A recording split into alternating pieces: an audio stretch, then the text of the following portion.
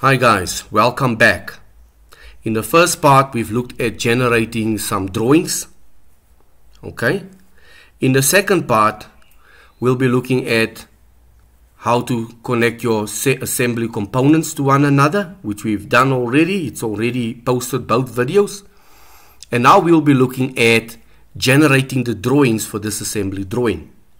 Your assembly drawing needs to be open the file that you'll be opening will resemble your assembly drawing as seen here.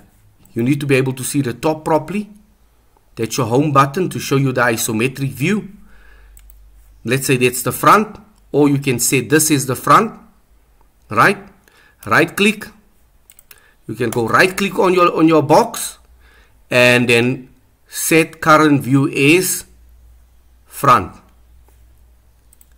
and that will be the front that you'll draw out in your IDW for manufacturing or assembly.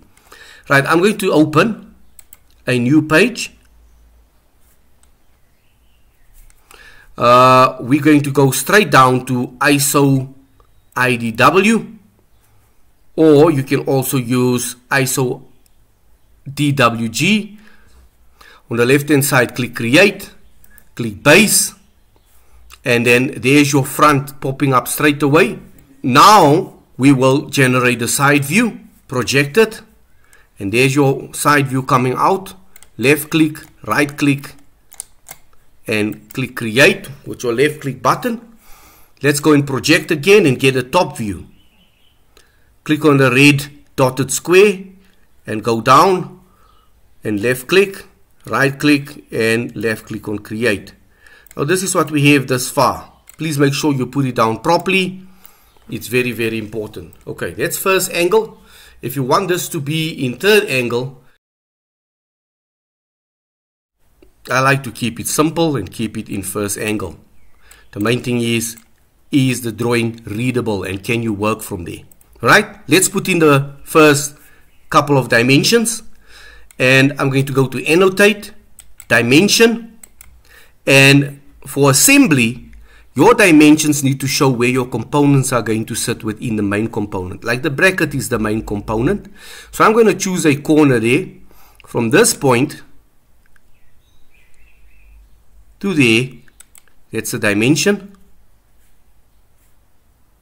We have 17. Left click. Choose 0 there with your left click and OK with left click again.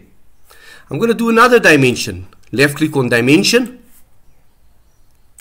and click on the, at the same point so that you can get an understanding where you your components are sitting and you can do that.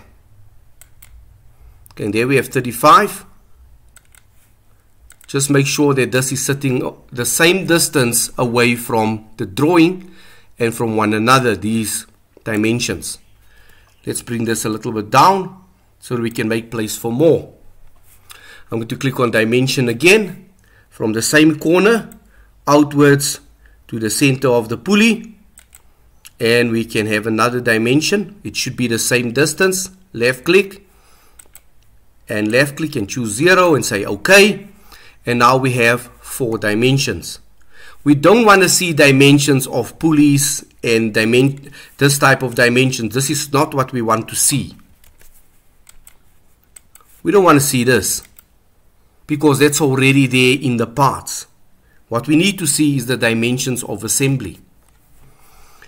Okay, you can also do this and put another dimension here from there to there to the face of the pulley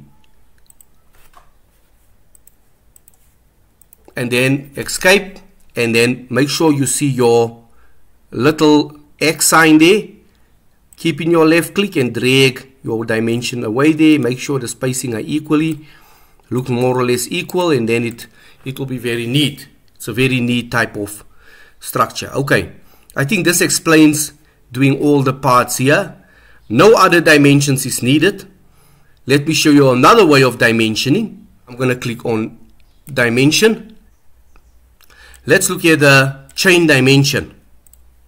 You can left click on the first line then the second line left click, the third line, the fourth line, and then obviously your fifth line. Make sure you don't see anything dimensions showing after you've clicked the last line or any line in between. Then you need to start over. Make sure you click directly on the lines. So you're going to right click now and click left click on continue.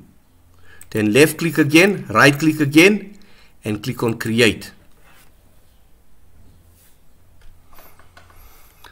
Okay, that is your chain dimension. But the main dimension that I'm actually looking for is the baseline to show where the components sit in the assembly. That's my baseline there. Left click, left click, left click, left click, and left click. Then I'm going to say right click and left click on continue. There's all my dimensions. Then left click again.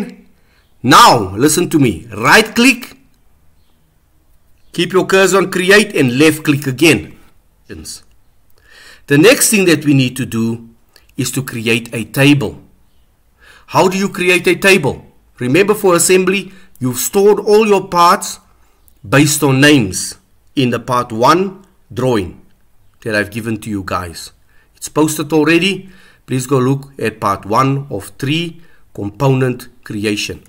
So I'm going to click on table and then you're going to click on parts list. And these are all left click parts list you guys can see now you need to go to the document. Look at this select document. You know need to go to the document where your parts are contained in. This is the folder. Pictures roller assembly assembly IAM so you click on it right the assembly IAM uh, drawing and that's what we're happy with we're going to say okay and OK. And what pops up there is an illustration of your parts list. You can do a left click and there's your parts list. It's shown here. Your quantity for your bracket is 1. Your quantity for your bush is 2. Your pin is 1. Your roller is 1. You can also go alter your description. Let's say you're double clicking on the green and this little table will pop up and you can click on here. Right in there you can type your bracket is made out of mild steel.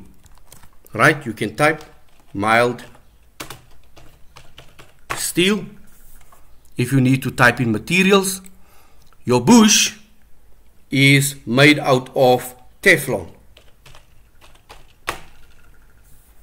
right these are just examples. This is the type of material used for plain bearings. Your pin is made out of, let's say, um, copper, which, which is a bare choice. It's better to leave it as mild steel as well to keep, to keep uniformity through your design when you calculate the stresses on each component. And uh, design is a different topic. Okay, then your roller, mild steel or let's say plastic. We are just exaggerating here. Okay, uh, and say apply. Now in there you have your description, what it is made of, your material. And then you have your part number, your quantity and your item. Right. This part number, uh, you can change it to actual numbers and just write it as the bracket. And bush, to be able to have part numbers because in industry, each part is a number. If you need to buy a bush, you will give the part number and they'll come back with a price for you. So your part number can be a number as well. But in this case, we just have the names there. So if you need to make space for your part number, right here you'll write in your part numbers and then you have your bracket, bush and, and, and, and pin. And then obviously you can add another piece of the table to say what is it made of. Right, that is your table. Let's first go and place another view in the corner and this is what it look like. Left click, right click, create. Okay. Right guys, now I'm going to show you how to do your ballooning. You go to table, keep it on table, annotate, table, and then go click on balloon and now you have see that little plus sign on your cursor and now you can select the first component. The first one is the bracket. You can either choose it here, there or there. I can see a lot of space here. I'm left clicking, going outwards, and I left click again, right click, keep your cursor on continue, and left click on continue. Wonderful. Let's go. You, you can still see the plus sign there. It wants the next component from you. So you're going to keep it on your bush there. There's your bush, this one or that one. Make sure it's highlighted or zoom your, your drawing by rolling your mouse wheel. Left click. And I'm going out in this direction here. Make sure it aligns. Look at the dotted line. I'm left clicking again, right click, left click on continue.